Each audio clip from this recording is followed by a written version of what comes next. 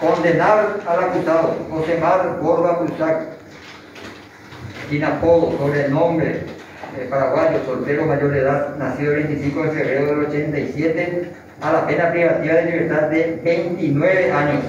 Los otros tres acusados hallados culpables son Josemar Borba Prusac, condenado a 28 años, David Prusac Freitas, primo de los hermanos, a 13 años, y Jessica Patricia Hoffman López, a 6 años de prisión.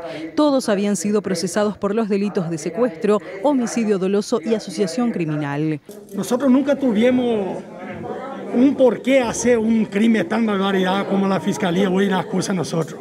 ¿Y por qué le acusan a ustedes? Seguramente la fiscalía le van a aclarar la por qué, ¿verdad? ¿Consideran una injusticia? Una injusticia y muy grande.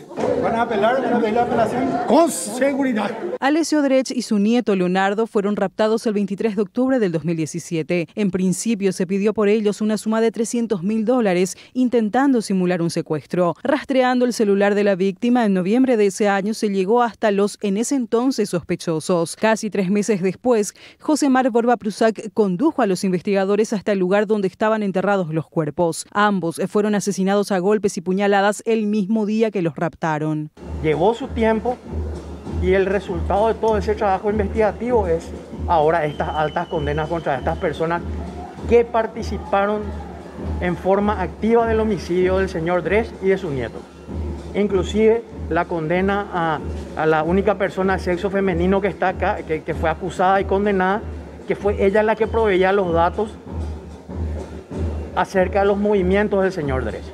Y estamos muy conformes como Ministerio Público con esta sentencia que hemos obtenido. La familia Dredge, que por casi cuatro meses nada supo de don Alessio y su nieto y por más de tres años esperó a que sus asesinos sean condenados, celebró que se haya hecho justicia. Y gracias a Dios y a la fiscalía se hizo justicia. Eso es lo más que tengo que decir. Ahora estoy feliz porque se hizo justicia. Me duele mucho por perder mi hijo, hizo justicia. Darcy Longaret, señalado de supuestamente ayudar a escapar a los autores del crimen, fue absuelto a no hallarse pruebas contra el mismo. Señor, sempre fui bem, bem tratado, porque fala que cárcel é ruim, é ruim para quem não se comporta, para quem se Por nueve comporta... meses en la cárcel, ¿qué se siente? Ha de ser terrible.